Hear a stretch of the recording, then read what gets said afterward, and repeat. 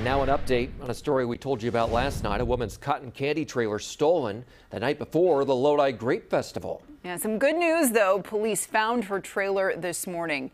Nicole Martinez says someone spotted it in Rio Linda and called the sheriff's office. She says some of the equipment was stolen, but she is just glad to have that trailer back and she's serving up cotton candy now at the Grape Festival.